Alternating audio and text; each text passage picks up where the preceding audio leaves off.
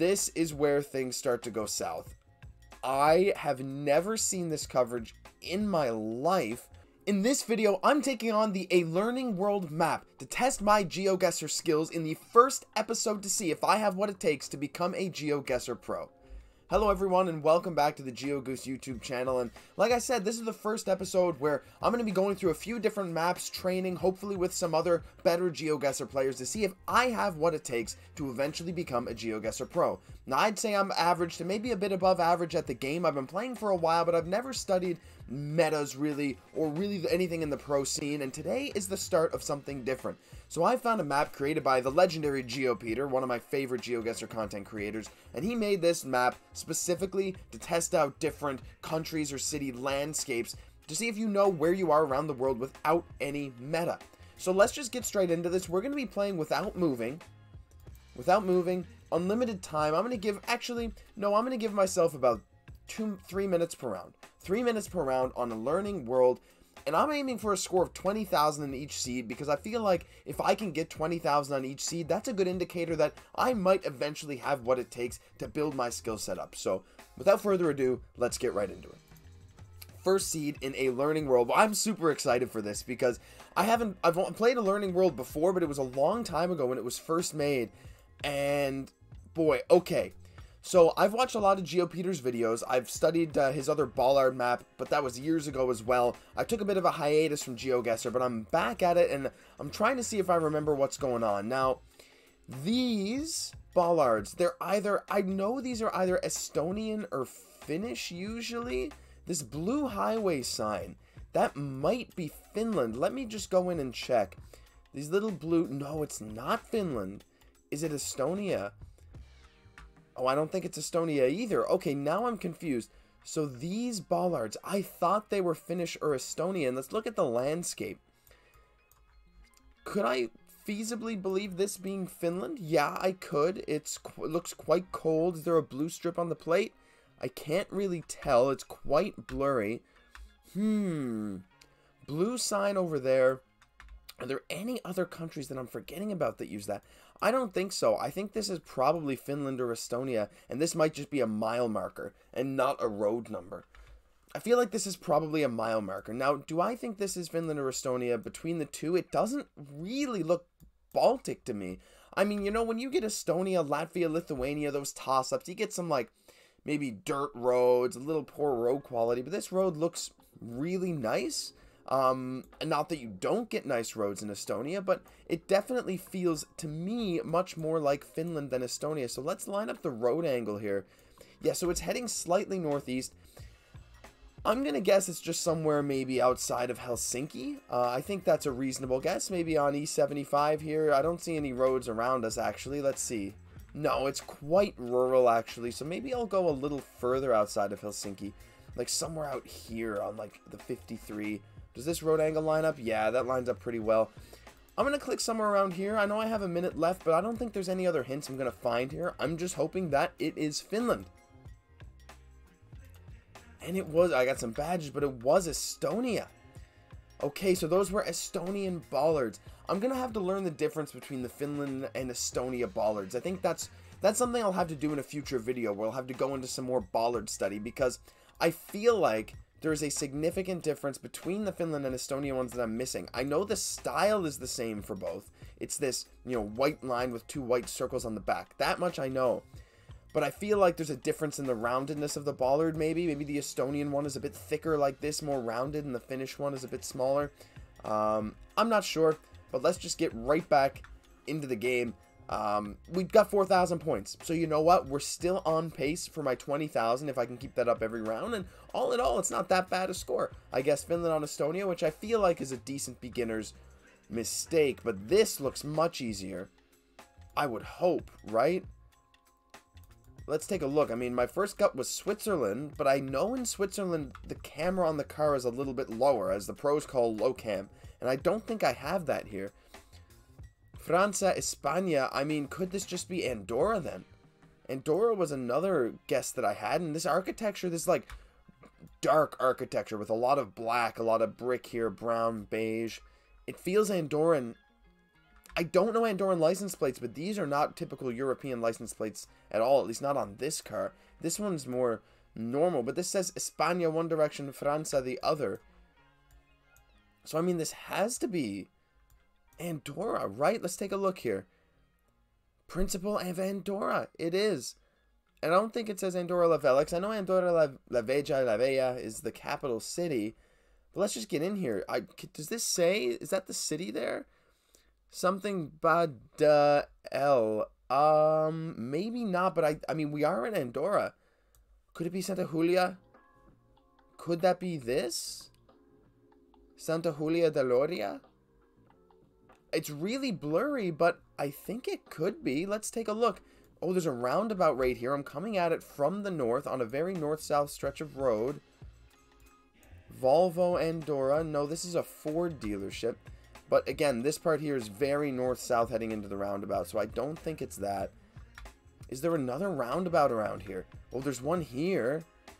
But heading north, there no, there should be a Ford dealership. Let's see. Is do I know the roads here? Ordino La Massana. So France is to the east and Spain is to the west. I mean, could this just be Andorra la Vella? I'm not sure. I mean, regardless, we're in Andorra. I'm going to click in Andorra because I know we're here. And at the very least, I know we'll get a very good score. So let's just go into Andorra la Vella and let's take a look. Oh, wait, Ford dealer. Did I just accidentally zoom in? Is there a big circular... Yeah, there is. Look at that. Okay, so we are just in the capital city. Maybe this is a traveling truck. That's probably what it is. So let's line ourselves up. I'm just out front of the Ford building. So I'm about here, I would say. As this building begins to curve, yeah, I'm just inside there. I think this is pretty much perfect, guys. I think we got a 5,000 score for our second one. Look at that, 4 meters from the location, 5,000 for Andorra. So it's looking like I kind of know what I'm doing at least, which is a good good news if I eventually want to become a pro. However, this is where things start to go south. I have never seen this coverage in my life. What does this say? Straka, it's not readable. Okay. Um, what does this landscape look like? I mean, it looks quite low income, if I do say so myself. It's not meant to be an offense or anything, but it looks like wood, straw-ish houses. So, I mean, could we be in Africa ever? The sun, it's slightly to the north, so that would make sense. There's a rift in the sky. Rift in the sky. Which countries do you see that? If I'm remembering correctly, you see rifts in Montenegro and sometimes Albania uh, and also Senegal. But there's only, well, I don't know if that counts. I think like they're usually bigger than this from what I remember. Do you get offshore coverage in Senegal? I mean, the land is to my east, which would make sense for Senegal. And there's a little tip up here, but again, this is all desert, so this isn't this isn't Dakar. I mean, could I be like no, but that's like a big city. I mean, could I be here though? Could I be somewhere like off the coast in Senegal? This coast kind of bending out here makes a little bit of sense. It's a bit of a resort. This land looks okay, right? I mean, I don't think I'm that far off. And the land, well, the land's kind of to my southeast here, which doesn't really line up. Like, if you align the coastline, well, no, the coastline coastline's pointing a bit northwest. I think this could be a decent guess, but again, I'm basing it just off this rift, and I don't even know if this is a real rift, and that's meta, right? And, that, and it's not something I want. I kind of want to be able to just look at the round and tell where I am, but at the same time, it being this sandy with um, some kind of rough-looking houses, very dry, this could very well be African to me. Um, I do wonder if it might be Southeast Asian somewhere, because I just don't know, but with 30 seconds left, I'm, I'm pretty comfortable just to lock in here in Senegal. I know I don't see any hotel or anything. No resorts really on the beach side. So I think this is wrong, but there's a small rift in the sky. It could feasibly be African, so I'm just going to go for it. Oh, it was Madagascar. That's why I had boat coverage. Oh, I didn't know Madagascar had coverage like that. Oh, look at this. Wow, this is such a small town. Do I ever get Madagascar here? I'm not sure. Like, without knowing that this is Madagascar, I don't think I'll ever get this. It didn't say Madagascar here, did it? No, I don't think it did. Maybe it did somewhere that I missed, but... Ah, okay, that makes so much sense now. But that's tough. I didn't know this coverage existed, so it's something I'm going to have to log into the memory bank. And that's another thing with these videos that I'm really excited to see, right? When you just play GeoGuessr on your own, if you have a, a studying routine, yeah, it can maybe help. But I find when I talk through my guesses, talk through my thought process, and I have a reference to look back on around where I did screw up, then it's really, really helpful to help me sort of keep that keep that mentality, keep that like mental note of a round that I messed up. So unfortunately, getting only 36 points officially eliminates us from being able to get 20k, I believe, because now we can only get 15,000 total for the rest of the rounds, but all the same, that's all right. I got it was Africa, and I'm going to remember that for next time. Now, this round here, Novenero de uh, Nazeno, oh, dot .cz, this is Czechia. Um, these bollards. Yeah, so if I'm remembering correctly, these orange strips, when they're like this, they're horizontal strips as opposed to vertical, and I think those are found in Czechia. So that's good news. Česka, uh, I think, does that might mean, does that mean Czechia as well? I'm not sure, I guess so. Um, but yeah, this feels very, very Czech or Slovakian. Now, one big problem I've had in the past playing GeoGuessr is that I find it very difficult to distinguish between Czechia and Slovakia. Um, this house, yeah, I, I don't really know. I can't really judge based on architecture, but I, anyway, right here, I assume we're in Czechia, but this truck could be traveling. Are these bollards also found in Slovakia? They might be. I'm not sure. I think they are, so I'm going to have to be careful. Česka, is does that mean that Czechia is off to our northeast? Or am I crazy? Let's look at the highway sign. So blue highway 43 and the E461. Whoa, look at that. E461 blue highway 53. E461 and that continues up 43 right here. Okay, so I found the highways. We're on E461 and 43. So we're, we're on this stretch here and I need to look for Svitavy. We have Svitavka I need to look for Blansko and Vranov. Vranov is off to our east. So if I can find Vranov on this stretch of highway, we're going to be in great shape. So I'm looking for Vranov and Česka, Svitavy and Blansko. It's a lot of a lot of different names that I'm trying to keep track of here. Okay, let's just get through Czechia here. I don't see... Oh, Svitavy! Svitavy is here. Okay, perfect. So what what's the rough direction of the road that we're on? We only have 45 seconds left. Slightly northwest, which would match up well here. Okay, this is good.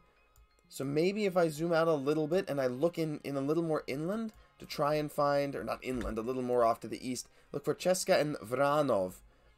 And Svitavy is here, which means Blansko is probably further. Česka. Česka is there. Okay. Oh, I'm confused now. Let's see if I can find uh, Česka or Vranov really fast. I don't see Vranov, but you know what? I'm okay with guessing near Svitavy. I found Svitavy, and I figured out it was Czechia, so I'm just going to go with the guess. I'll be happy with it. Oh, it was way more south. It was just near Brno. Oh, there's Blansko. Oh, okay. Svitavy was further away. Wait, really? Can I look at that? So in Czechia, the city that's further away appears on the top ah, see, where I'm from in, in Canada here, at least where I live, the cities that are further away appear lower down on the sign, so that messed me up, but that makes a ton of sense looking at the landscape. And there's Vranov, it's just right here, and there's Česka. It's all just right here next to Brno, and I went way too far up. Oh, that's my mistake, but you still got 4,836 points. I could have got 5,000 on that round, I think. We were given all the hints to get 5,000 points, but happy with that performance. Let's go to the next round. Okay, now, this pole here looks very distinctive. I feel like someone could tell me what this pole is. Um, something I'm not super familiar with is poles. Temos Farmacia Conveniencia Restaurante. I think that might be Spanish. It's either Spanish or Portuguese. Oh. Is this Brazil? That might be Portuguese. Look at the red soil. It says pare. There's red soil, kind of a kind of a weird hue to the coverage. Engenharia. That's not the Spanish word for engineering, I don't think. And look at that. Salao. Salao. This AO ending with the little tilde on the A, that is not found in Spanish. I know a little bit of Spanish. I can speak it a little bit. And that's not Spanish, which means we are in Brazil. So these poles must be Brazilian poles. Or at least they're found in Brazil. So like that's a good good note to make if I'm looking at poles in the future. Okay, great. License plates are a little longer. I think that makes sense. Um, so we got some roads here, some road signs, some blue road signs. There's not a lot to go off of here. The, the problem with Brazil is it's such a huge, huge country, and for me at this point, the most I can get is like 18,500 basically, and that's if I pinpoint this Brazil location. And I'm not going to pinpoint this Brazil location, I'll tell you that right now. I mean, it looks really dry, like very dry, lots of red soil, but like dry red soil. It's a little hilly as we get over there, but overall where I am is like it, it's sort of rolling hills. It's not flat, but it's not mountainous, that's for sure. So let's take a look at Brazil. I don't think we're out in the Amazon. It doesn't really feel like that. I mean, I would guess somewhere up here, somewhere like kind of near a coast, because I'm pretty sure it gets kind of dry up here. I mean, I've watched a few like GeoGuessr tournaments. I've watched some pros play. I do like watching GeoGuessr content, so I absorb some of the information, but when it comes to actually guessing a region in Brazil, I'm kind of hopeless. So, I mean, let's make a good guess here. Let's take a look. This tree, I... Okay, I don't know. I was going to pretend I knew something about the tree, but I don't. Salo de Reno das Estumas de Jehovah. I don't think that means anything. I don't think... Well, I mean, it means something, but I don't think it tells me where I am. Okay, we have 25 seconds. My gut is that we're up here in the northeast somewhere. Like somewhere in Ceará or maybe the state of Paraíba. I don't know the difference. Um, I don't think I'm going to find anything else that's going to help me. I'm hoping I'm right. It could be more south. These look like nice dry patches here. Like it could be here by Irecê. But um, we're just going to guess and hope we're right. That was much more south. Way, way more south very inland, not near the coast at all. We were in a town called near Nova Ponte. I don't even does this town even have a name? Very small town. Yeah, I mean, I don't think I'm ever getting that. It's Brazil is so difficult, guys. I I'm, I really struggle to region guess on this map, but anyway, we got a score of 15,600 on a learning world, and I feel like I learned a lot. This Madagascar boat coverage is something I am not going to forget this dry Brazilian round. Let, let's bring it up again. Let's take a look. Okay, so maybe I should have guessed somewhere a little more south with just how dry it was. That seems fair enough. But all in all, I'm not upset with my score. Um, Senegal and Madagascar really destroyed our score. If we had guessed Madagascar correctly on that round, we might have been very close to 20,000, my original goal. Um, I got Czechia. I could have got 5,000 there. I got 5,000 on the Andorra round. I mixed up Estonia and Finland, which is something I'm going to have to look into now. But uh, other than that, I'm pretty proud of my performance. So that'll do it for episode one of uh, my road to being a GeoGuessr Pro. I feel like I learned a little bit, even though it was just five rounds. And I hope you guys enjoyed. I mean, this channel is brand new. I'm hoping to reach out, hoping to branch out. Hope you guys enjoy the idea for this series. As far as I know, there's no one else on YouTube that's really done this, at least not to a large scale, and I'm pretty committed, and I feel like I can make a nice long series, not only to to show you if I have the skills, but to help you along and maybe your journey to becoming a better GeoGuessr player too. That'll do it for GeoGoose. We'll catch you in the next video.